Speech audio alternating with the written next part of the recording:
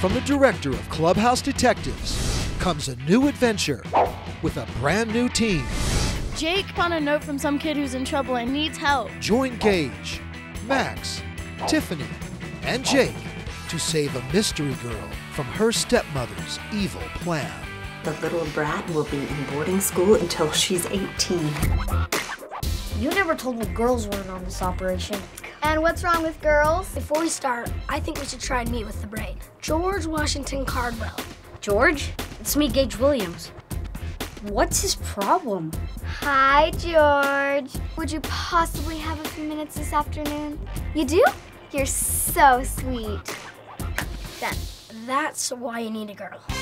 This method has proven the most successful 85.9.9% of the time.